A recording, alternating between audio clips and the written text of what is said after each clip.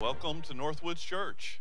Really glad you're here today. Pray that you'll have a great day as we worship the Lord. Welcome to the first Sunday of October. Where did the where did the year go, right? So, yeah, bring back summer. There you go. Can't do that. Can't do that. Really glad you're here. Pray that you'll have a great day as we worship the Lord. And uh, our, this will be a great day as we put our focus on Him. And I pray that over the next uh, hour plus that you'll just be able to, to rest in the Lord and put your focus on Him. I'm going to uh, encourage you to grab your bulletin, and inside of it, you'll see a Connect card. You can uh, grab your Connect card, and I'm going to ask Darin to run through some announcements with us.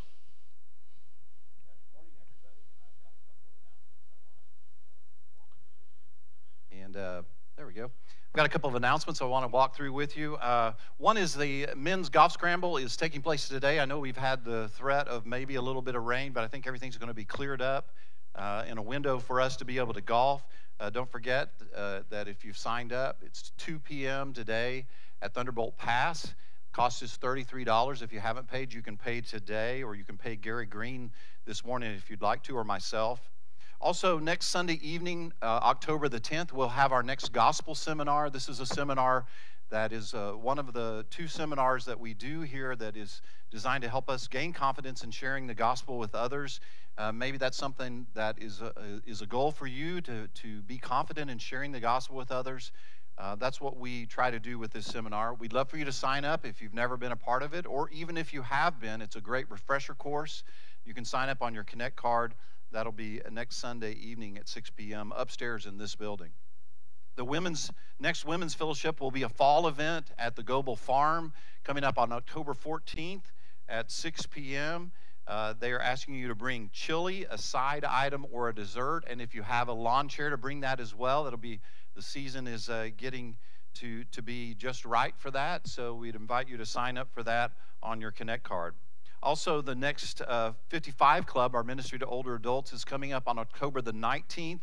That at 6 p.m. That will be a fish fry here at the church. They do that every year.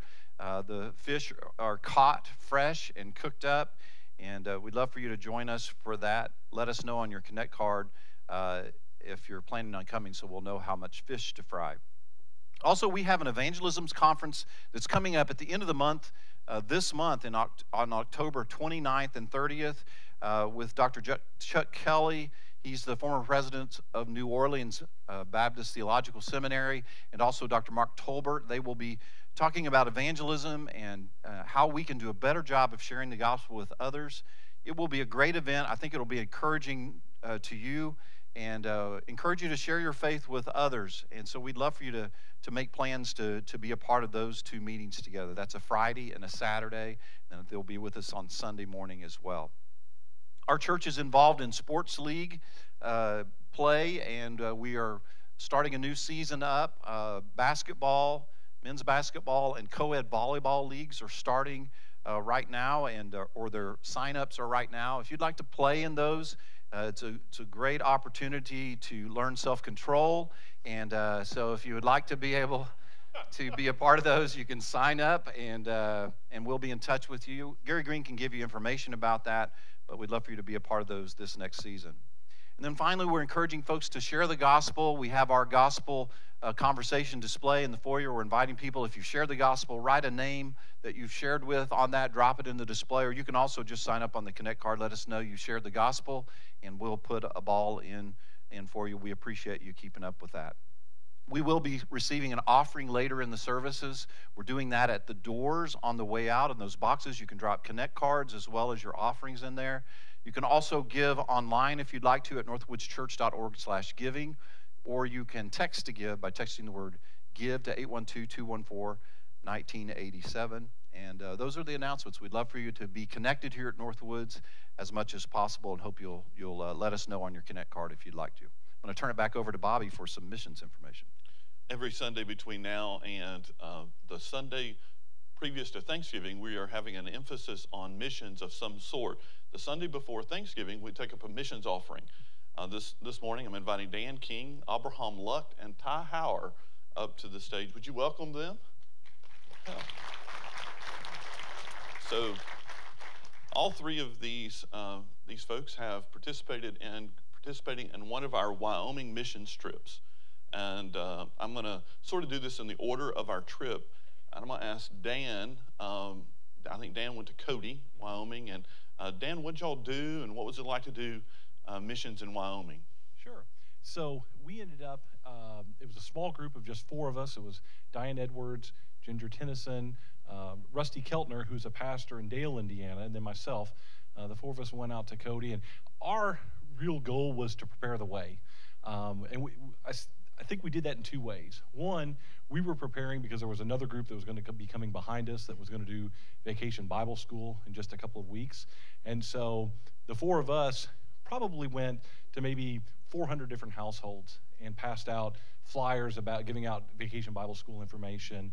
Uh, we went to, you know, maybe 10 local businesses and found them to be very receptive. Um, they allowed us to place uh, flyers in their businesses, and they even we even left some at some of the businesses, and they handed them out for us.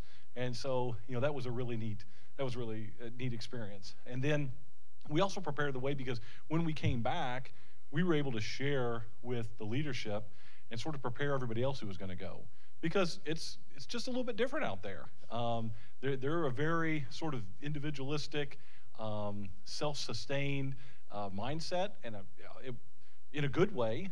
But it's just you just you, they just approach things differently, and so I think it was good for everybody else maybe going behind us to know that. And uh, some of the really good memories uh, of being there. One was just God's beauty out there in Wyoming. Um, it's just you're just reminded that God is creator. Um, and to look at that and to see the, the beauty of creation there, and then to be sort of reminded, wow, this looks a little bit like Ecuador. And then there's ways it doesn't look at all. You know, there it's very arid. Ecuador was very lush, but both had mountains. It was just neat to see God's hand in creation all throughout. And then um, one of the other things, Diane had shared a, uh, a devotional with us about moving rocks. And, you know, that didn't sound very glamorous, but that was a little bit of what we were doing. We were out there moving the rocks, you know, getting the word out, and hopefully by moving those rocks, we were opening up some soil that everybody else who was coming along later and was sowing the seed and was watering, that we were going to see gospel growth from it.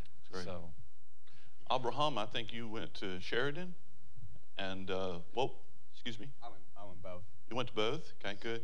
And t- tell me about what it was like for you. What did y'all do on your mission trip, and what did uh, what was it like to do missions in Wyoming? Uh, overall, like I went, I went, I was uh, given the privilege to go to like both Cody and uh, Sheridan, and uh, so like the first day when we got there, like we helped like set up VBS, like for the kids, and at night we also did like celebration, like uh, led the VBS, and I got the opportunity to like hang out with the little kids. Yeah. It, was, it was really cool, and just like through that, like Matt said at the end of the night, talking about like we didn't we didn't have that many kids.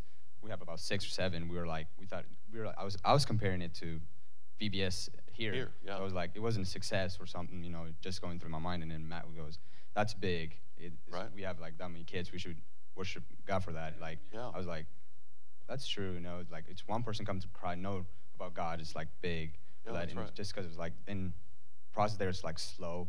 Like Yes. it's here. Like we here in Evansville, we move fast. There's like just chill and slow. So Yeah. I was like, okay, what do I do this point? Just standing there. Yeah. But and then next day we went to uh, Sheridan. Half of us I went to Sheridan, and also as Dan said, that was like beautiful. We stopped some place to see God's creation, and there we helped out with church and like uh, put a party together for people to come over. I was like also talking to them. It was like just really cool, like how they were lost and it's just crazy. Like even one, we didn't even have that many people, but it's still like really cool to see God working in one family.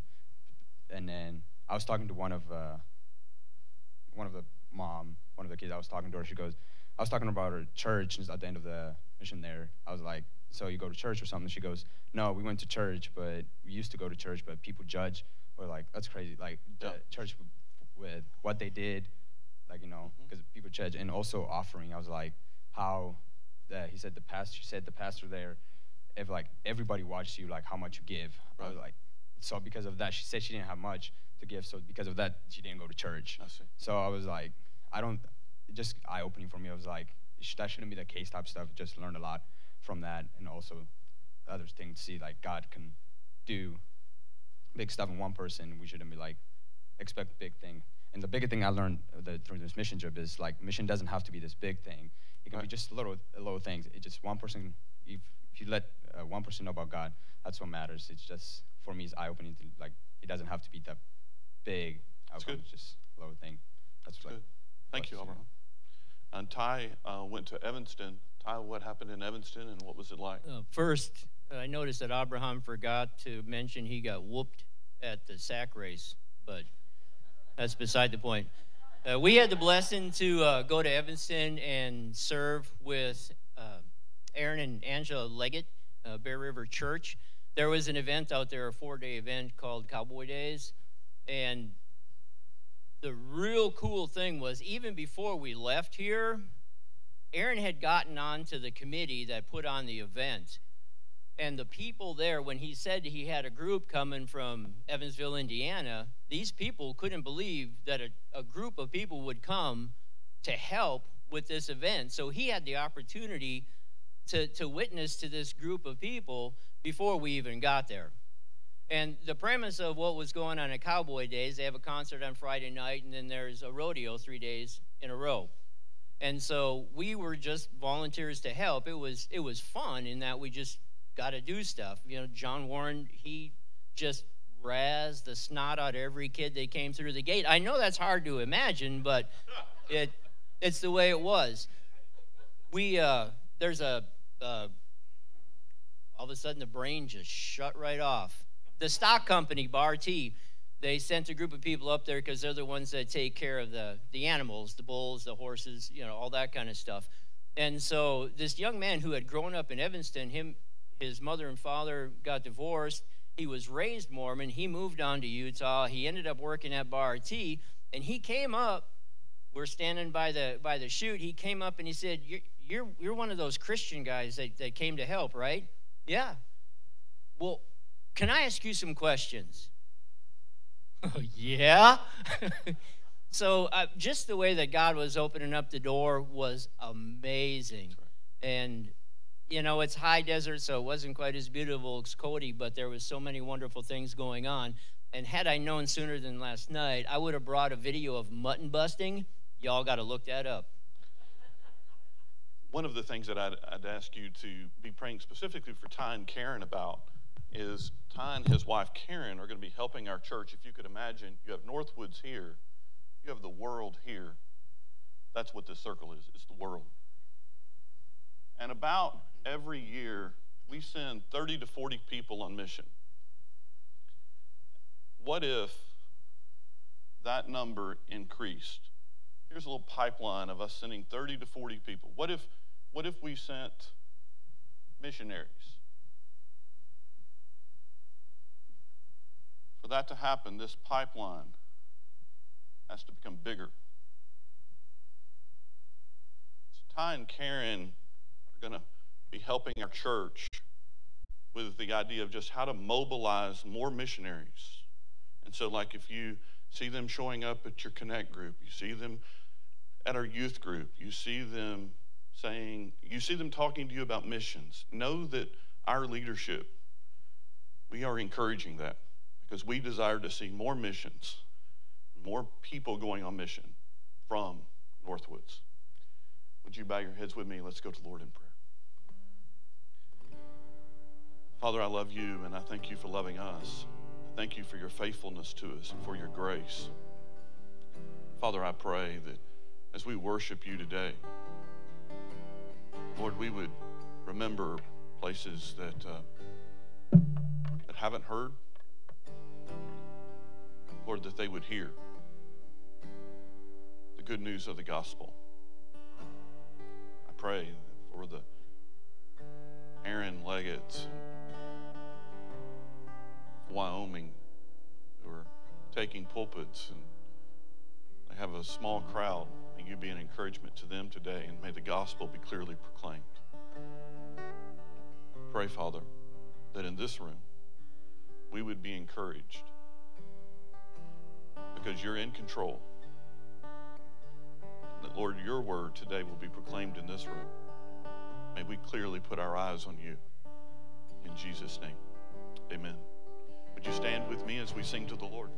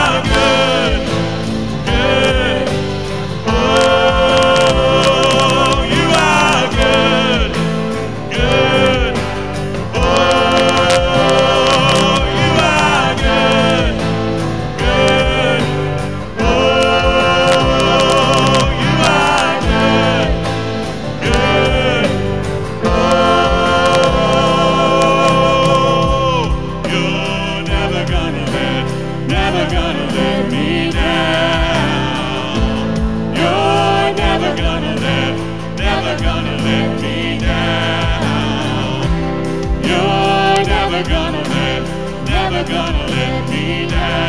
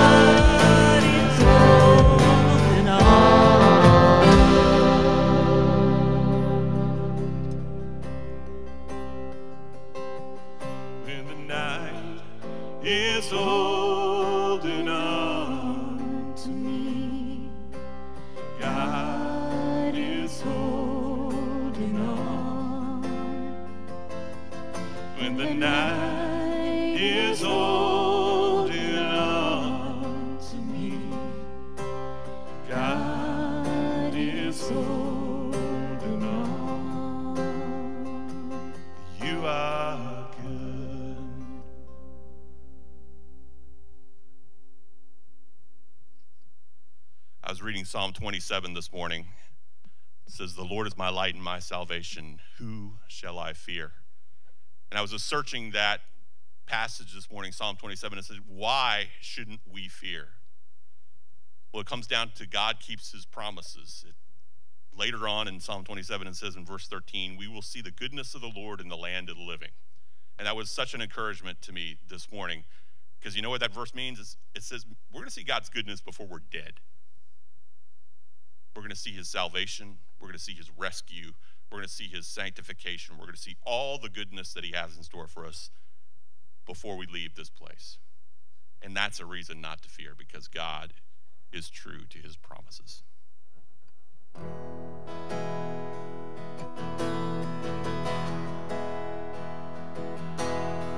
So let's go of our bondage to slavery this morning. You unravel me with a melody. You surround me with a song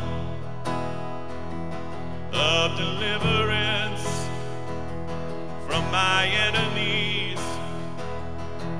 till all my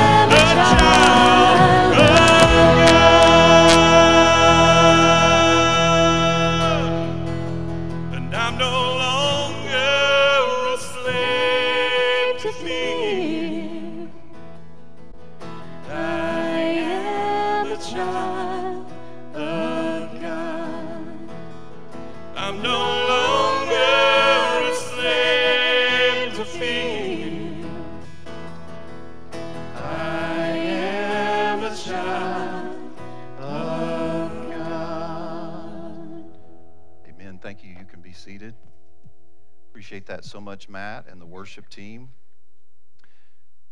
It's good to be with you this morning. My name is Darin. I'm one of the pastors here, and it's my privilege to open the Word of God with you this morning. I'm excited to, to do that and see what God has to teach us. So, would you take your Bibles and open up to Hebrews chapter 2? Hebrews chapter 2, and we will begin this morning in verse 5. We are in a study of the book of Hebrews that we're calling Greater Than. Uh, and we have given it this title because the book of Hebrews is dedicated to the idea that Jesus is greater than anyone or anything in the world. The passage we're currently in is focused on the fact that Jesus, in particular, is greater than anyone or anything in Judaism, anything prior to the coming of Christ. We have seen already that Jesus is greater than the prophets who, uh, who gave us the law predicted his coming. He's greater than the angels who delivered the law. We will see in coming weeks that he's greater than Moses and greater than Aaron and greater than Joshua. Jesus is superior to everyone and everything in the new the old covenant.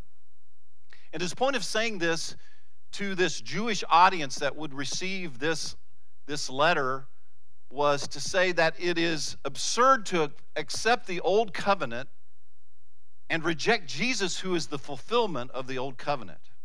Why would you accept all of those things? Jesus is greater than all of those things and not accept him. Jesus is superior to everything and everyone in the universe, and it's only as we subject our lives to him that we understand what life is and how it is to be lived. Jesus is greater than everything. And we're going to push that idea a little further this morning in our next passage. At Northwoods, uh, it is our pattern to teach through books of the Bibles. This just happens to be the next passage, and so we're taking it as it is. I'd like to read part of it before we dig deeper, but I want to point your attention to a bulletin you should have received on the way in. If you're new to Northwoods, or maybe you're even a new Christian, there's an outline on the back. A lot of people have found that this helps them to understand sort of where we're going and see the entirety of the message so that it makes sense. I'd invite you to use that if it would be helpful to you. Uh, it is our tradition also to stand in honor of the authority of the Word of God in our lives. So, would you stand with me, and then we'll let you be seated for the rest of the service. Hebrews chapter 2, beginning in verse 5. For it was not to angels that God subjected the world to come, of which we are speaking. It has been testified somewhere What is man that you are mindful of him, or the Son of Man that you care for him? You made him for a little while lower than the angels. You crowned, you've crowned him with glory and honor, putting everything in subjection under his feet. Now, in putting everything in subjection to him, he left nothing outside his control. At present, we do not see everything in subjection to him, but we see him who for a little while was made lower than the angels, namely Jesus, crowned with glory and honor because of the suffering of death, so that by the grace of God he might taste death for everyone. For it was fitting that he, for whom and by whom all things exist, in bringing many sons to glory, should make the founder of their salvation perfect through suffering. Would you join me now for prayer? Lord, we are so grateful for your word. We come to it with great humility, understanding you have given it to us to have us understand your will, to know your plan for us, and to walk in it. And God, I pray that we would have uh, open eyes this morning and hearts that are ready to receive what you have to say to us so that we could understand your will and we could walk in it, so that we could know your plan and we could live it. And God, we're grateful that the word is able to be understood only by the power of your spirit. And now, Lord, we pray that by your power, that your spirit would open your word that we could understand great things. We pray this in the name of our Lord and Savior Jesus Christ, who died for us and rose again. Amen. Would you be seated? All right, so this passage tells a story, and I kind of want to walk us through it. There is a, a beginning, a middle, and an end. And some parts of that, like every story, you know, uh, when you're in that part of it, you feel like an angst, like it's it's unresolved, but it will be resolved as we walk through it. But you sort of have to stay with it. So I hope, uh, I think it'll be worth it if we will stick with it this morning. I'd like to walk us through it in three parts. The first thing we'll see, the first chapter of that story, is number one, God's purpose for man is revealed in the scripture. God's purpose for man is revealed in the scripture, and we see that very clearly in this passage. Prior to the passage, the writer has been talking about how Jesus is greater than the angels, who people at the time practically worshiped. Chapter 1 ended by saying that angels are the messengers working on behalf of those who were to receive salvation. And then chapter 2 began with this uh, warning not to fall away from salvation or from the message of salvation, because you can't fall away from salvation, fall away from the message of the gospel. And Matt did such a great job last week opening that passage up for us. And now at chap- in verse 5 of chapter 2, we pick up with uh, a discussion about angels uh, again. This time, though, he uses the subject of angels uh, to explain God's plan for humanity as opposed to God's plan for angels. And we learn that God's purpose for uh, humans is higher than God's plan for the angels. We see this in several ways, and I'm going to talk about these not in the order that they come in the passage, but in the order I think that makes most sense uh, to me. First, God's purpose for humanity is that we are destined to have dominion over creation. We are destined, or we are designed to have dominion over creation. We read in verse 8 that God's design is to put everything under his feet, speaking of man. One of the challenges I think that, that comes in this passage that we have to deal with is the fact of when he talks about man, is he talking about humanity, people, man himself, or is he talking about the Son of Man, Jesus Christ, in his humanity? And there are places where it sort of seems to overlap, but the scripture is clear that God has designed man to have dominion over the earth. And that's what he's referring to here. Look at this verse with me uh, in Genesis chapter 1, speaking of Adam and Eve. The Bible says, And God blessed them, and God said to them, Be fruitful and multiply, and fill the earth, and subdue it, and have dominion over the fish of the sea, and over the birds of the heaven, and over every living thing that moves on the earth. We, we see in Genesis God's design for humans was that we were to, to, to take this gift of creation and under His loving authority, we are to steward it uh, in the best way that, that will bring Him glory. We are to take everything that is uh, under our control and we're to use it in a way that will glorify Him. This is clear in the scripture. Psalm 115, next verse says, The heavens are the Lord's heavens, but the earth has given, He has given to the children of man. So, what we need to see here is that God's purpose for us, in one of God's purpose for us in creation, is that we are designed to reign. It was not God's design to subject creation to angels. And people at this time were seeing, well, angels are over everything, they, they are higher than anything.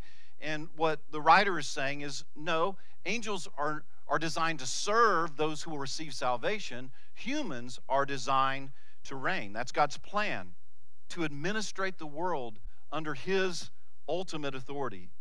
And we are to treat people in our lives like those who are under his authority in a God honoring way.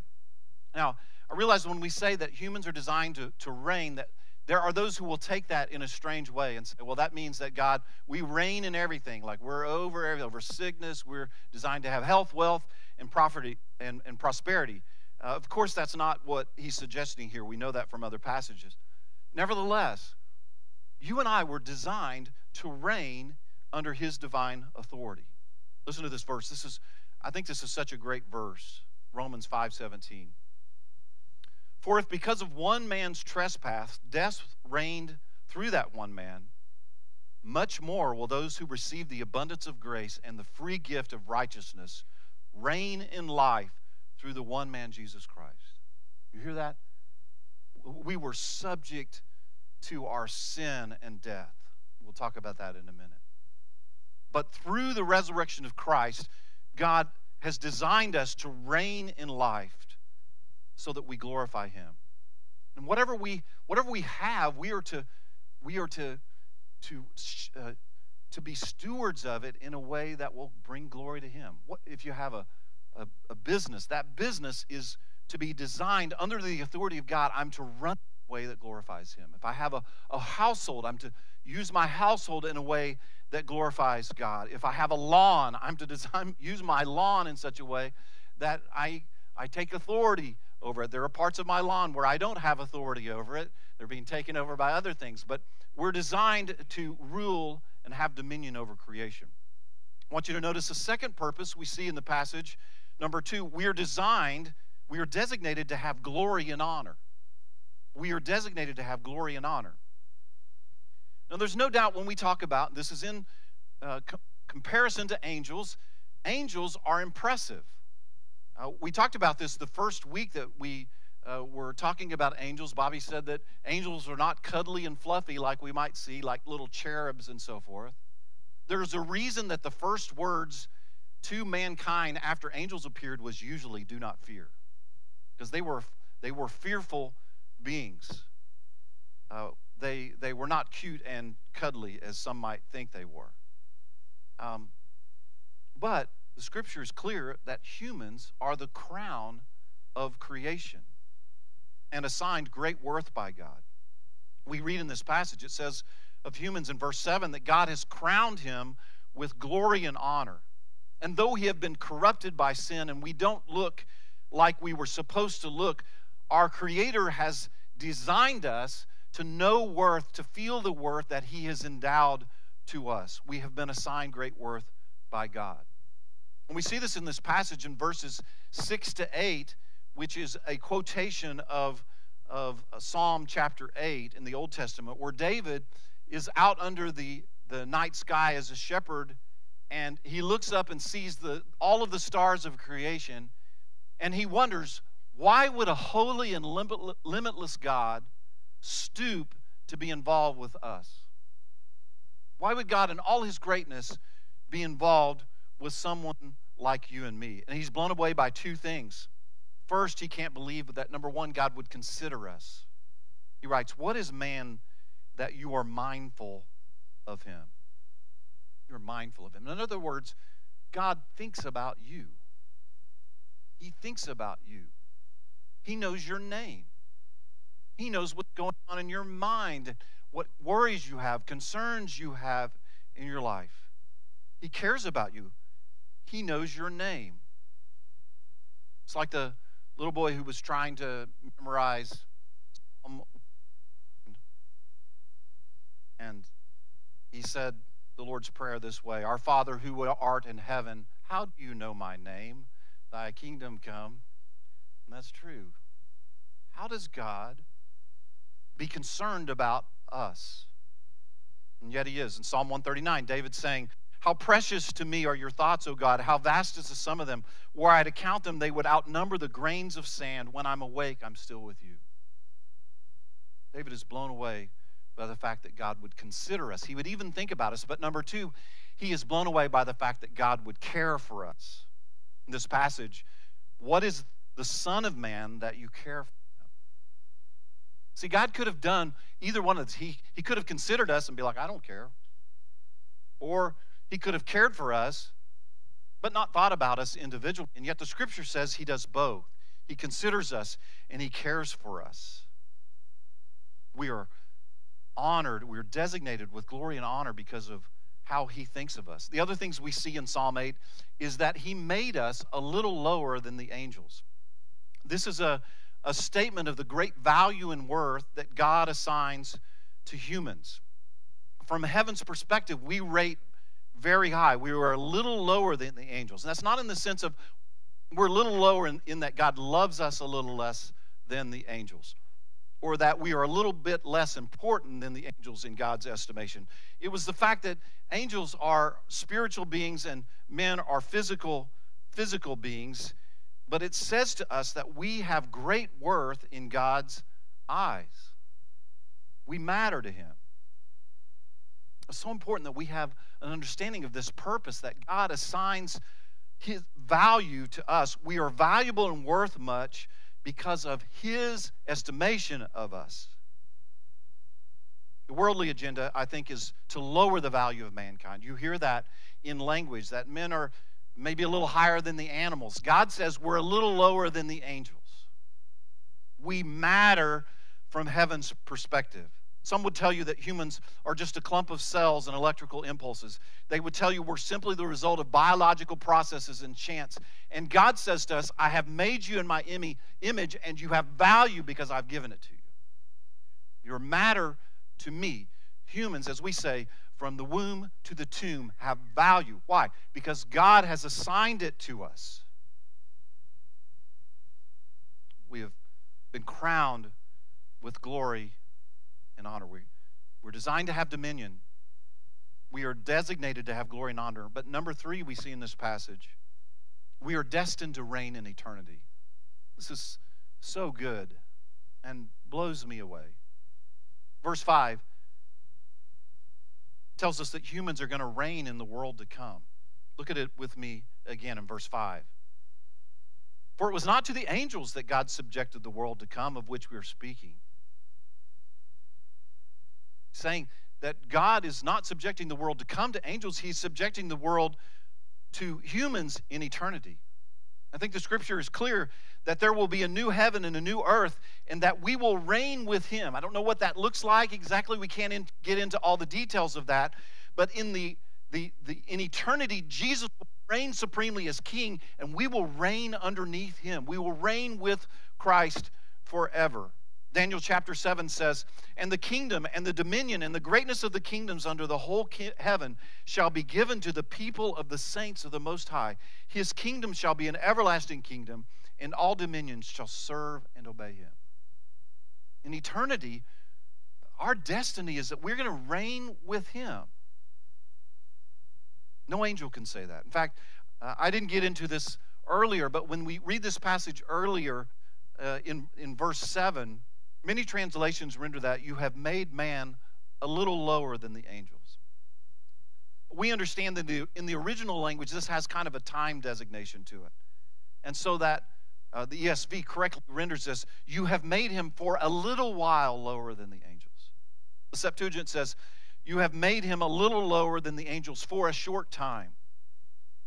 God has a plan for mankind that, that, that has involvement in the future, in eternity. We're not going to sit around in heaven playing harps and just whiling the time away reading magazines. God has designed in eternity that there's a new heaven and a new earth where we will reign with Him and we will do meaningful work, the most fulfilling work that we will ever have. We have, we are uh, designed by God, and we are, de- we are will be reigning in eternity. But this shows us God's purpose for mankind. We are designed to have dominion over creation. We are designated to have glory and honor, and we are destined to reign in eternity. That's a pretty significant plan that God has for us. One of the things I hope that you'll grasp this morning in this passage is a little bit of what we sang, what Matt and the team sang with us is I'm, I'm a child of God. I have worth because of my relationship to Him. There are a lot of times, for whatever reason, where I don't feel like I have accomplished enough, I don't feel significant enough, I don't feel valuable. And I need to remember that God has assigned value to me, and there is a great future awaiting me. I have value because of the assignment that He's given to me. I'm going to do this illustration. I'm sure you've heard this before. But uh, I have a crisp $50 bill here. I don't normally have 50s, there's normally ones, but I have a $50 bill. And if I held this up and I said to you, uh, who would take this? Would you raise your hand if you would take it? Raise your hand if you would take it this morning. Okay, good. All right, I appreciate your honesty. What if I take this dollar, this $50 bill,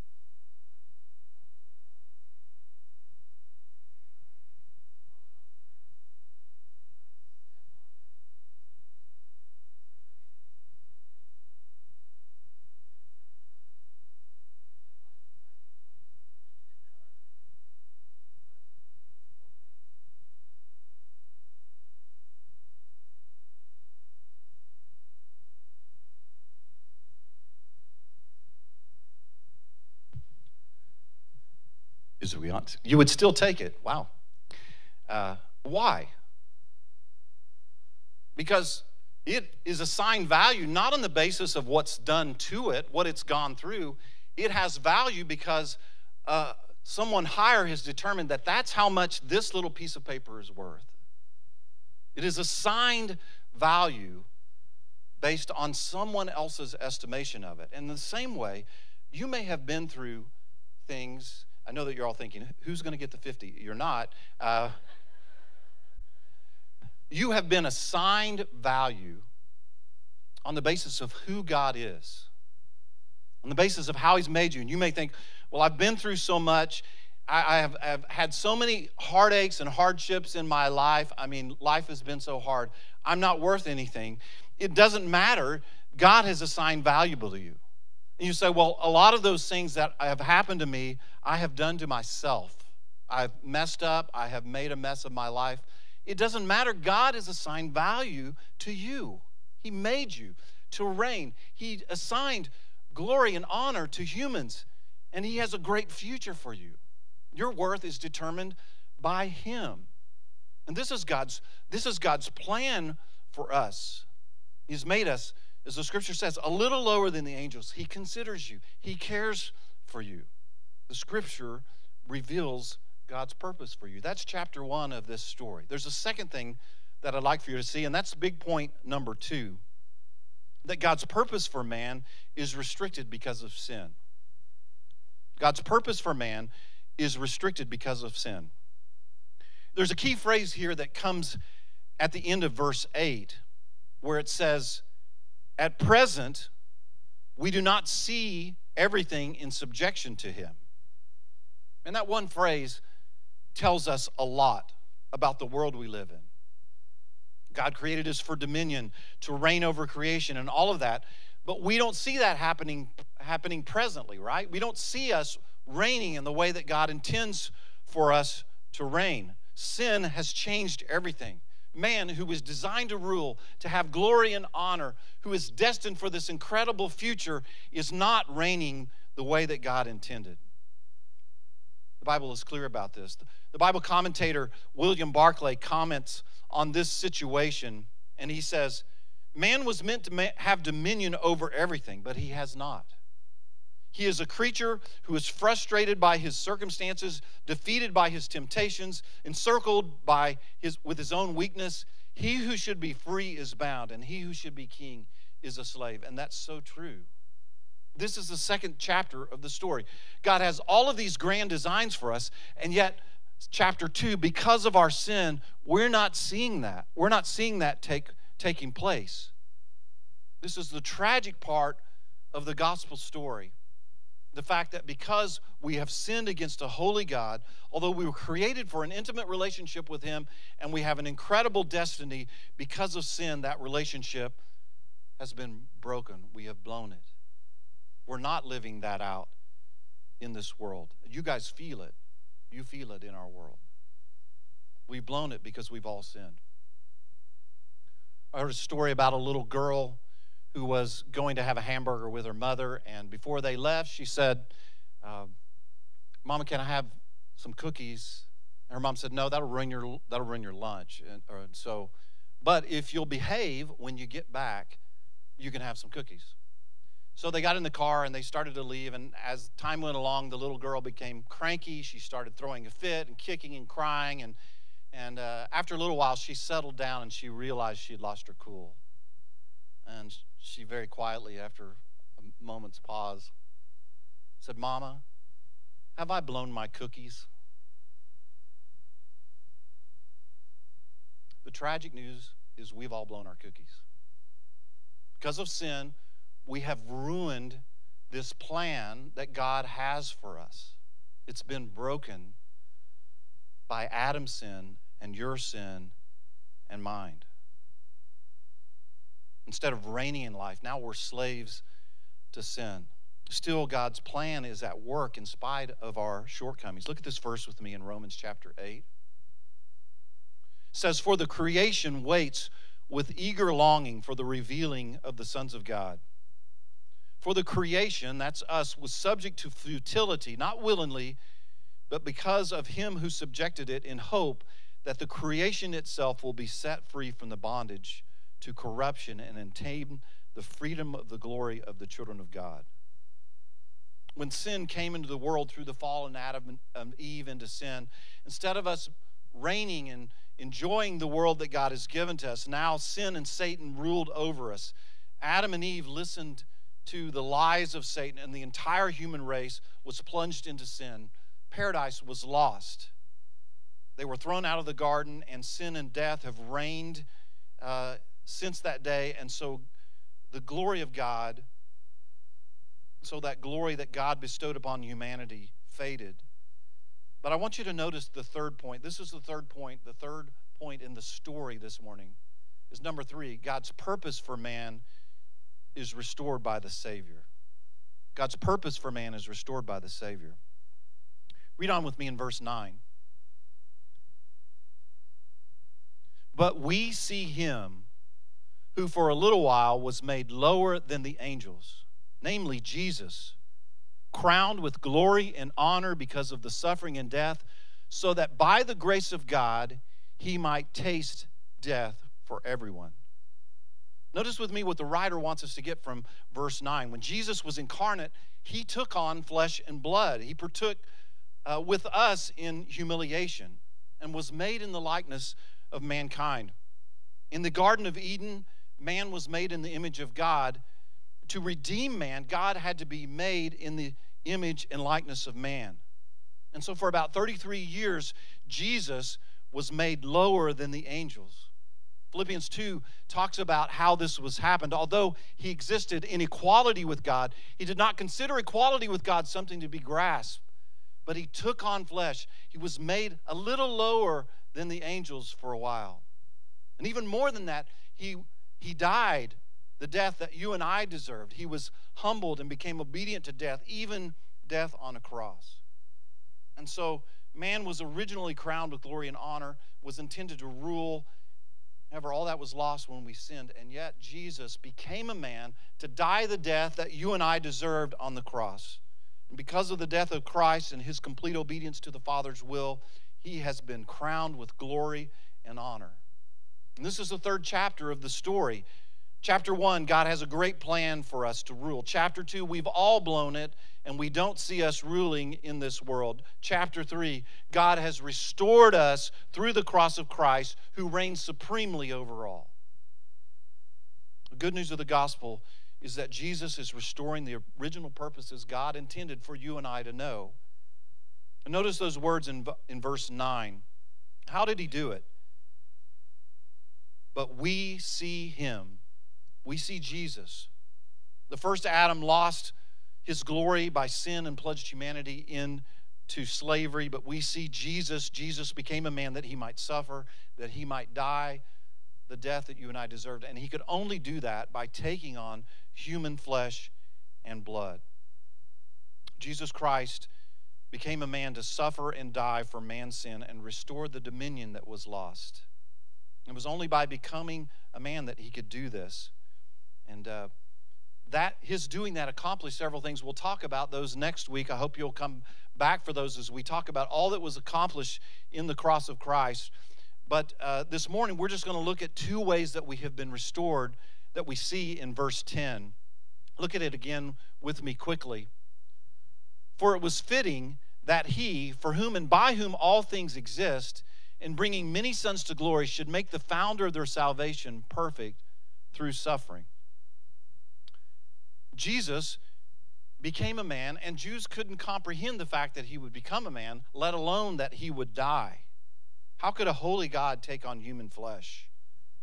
How could the Messiah, who was destined to reign over all, be put to death? So, wherever the gospel was preached, it had to be explained why Jesus had to suffer and die. And the writer makes the point that in order for all to be restored that was lost in the fall to sin, like us, Jesus had to be made for a little while lower than the angels. Like us, he had to suffer and to die. Since we have flesh and blood, since the curse of sin was death, he had to die the death that we deserved. And I think that's what it means in verse 10 when he writes that it was fitting for Christ to be made flesh. it, it made sense that he would take on flesh if he was to remove the curse that humans had on them so that we could regain gain glory and dominion. He had to take the place of man by becoming a man himself. And in doing this, he was able to accomplish what no angel could ever accomplish, and accomplished a couple of things that we see in this passage. First, he became our substitute. He became our substitute on the cross. Notice it says in verse 9 that Jesus tasted death for everyone. What does that mean? If you take this context out of Scripture, you could take it to, to mean that Jesus died and everyone will ultimately wind up in heaven. We know that is not the case because the Scripture says only those who repent and believe will be saved. Uh, not all who are, not all who exist will be saved, but only those who repent and believe. What we understand here is that in order for our sin to be paid for, to be atoned for, someone had to die. And Jesus, the Bible says, died in our place. Romans 6:23 says, "For the wages of sin is death."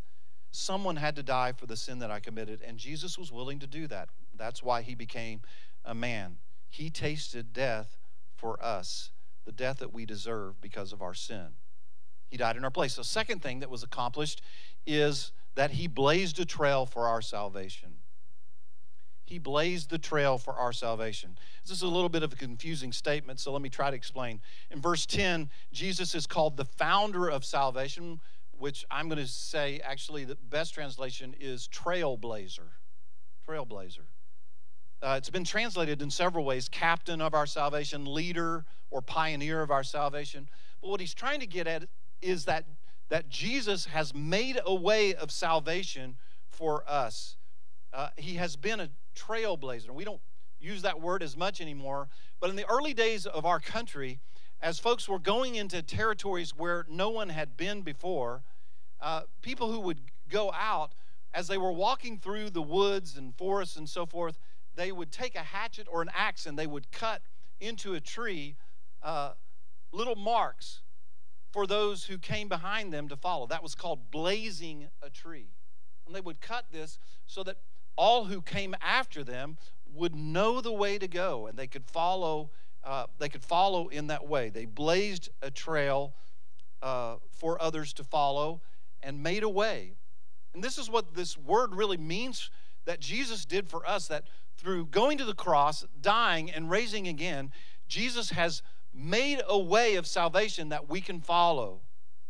Uh, i think that's both figuratively and literally Jesus has made a salva- way of salvation through his death so that all who believe in him can be saved. But not only that, Jesus lived, died, and rose again, which is the path that all of us will follow who believe in Jesus Christ. He has blazed the trail for us.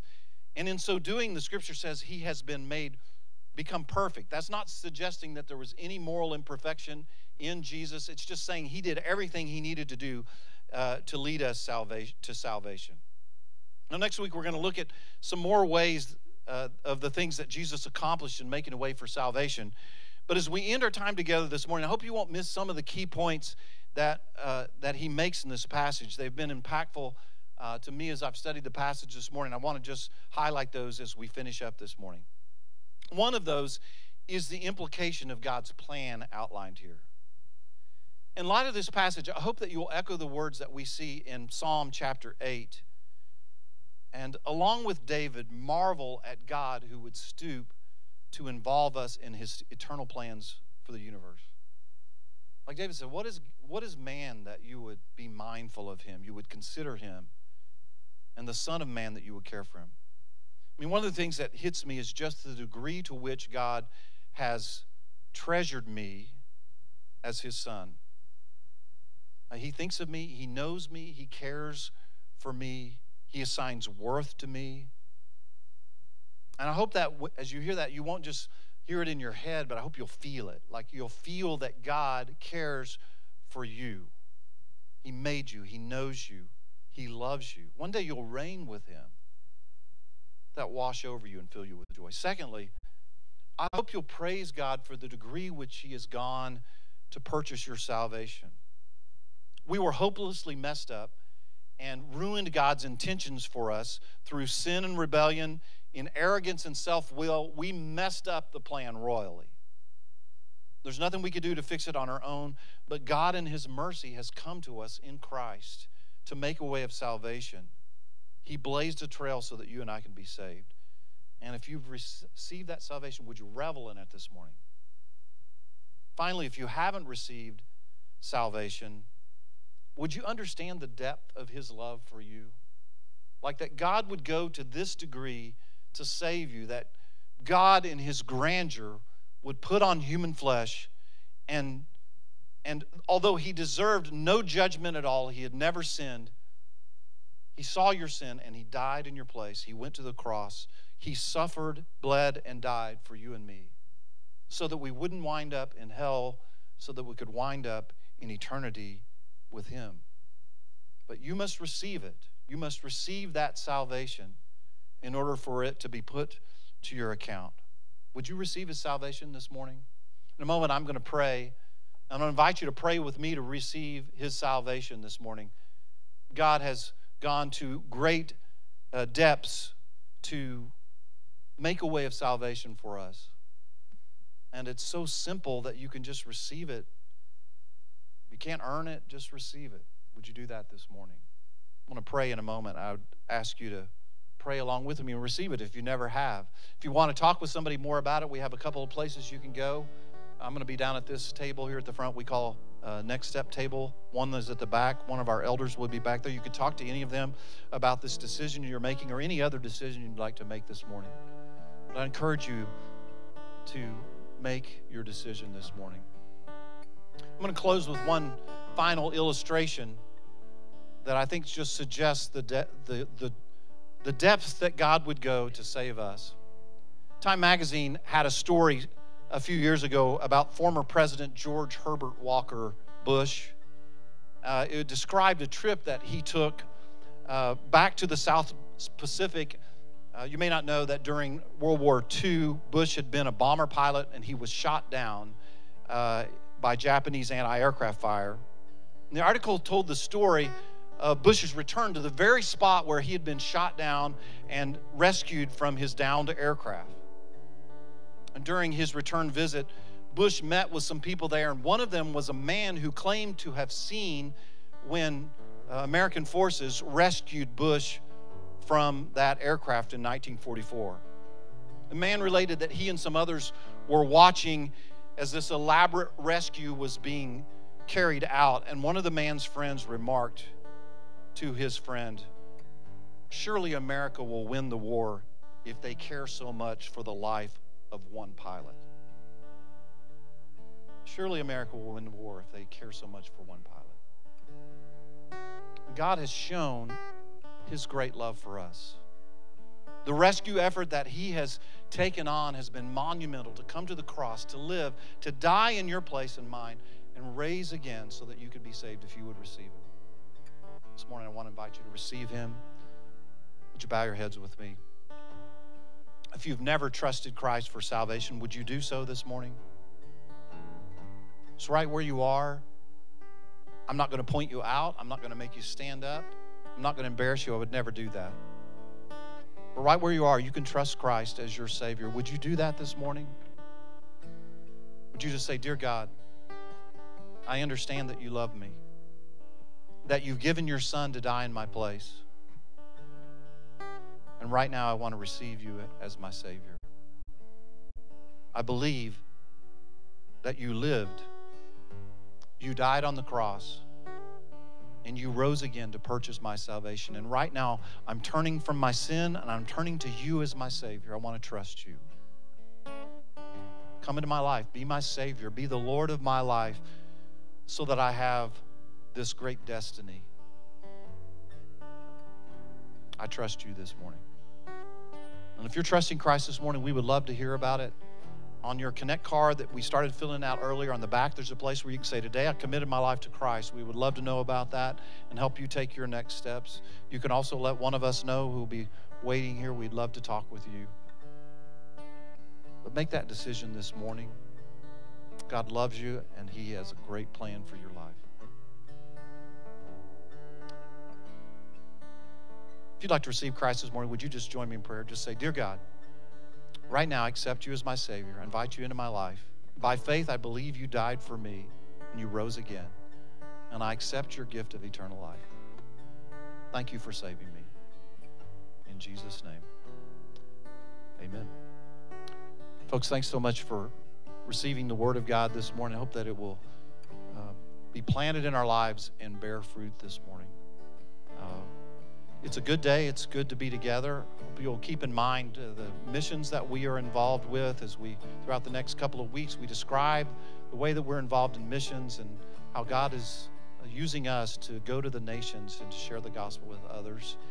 And uh, we appreciate you praying about that and how you would be involved with that. We're going to close with one last song. Matt and the team is going to lead us. I'm so grateful that you were here today. Don't forget on your way out to drop your Connect cards into the box. If you have offerings you want to give, you can do that as well there. But let's close together and sing one last song together. Would you stand with us as we sing? Praise the Lord. His mercy is more.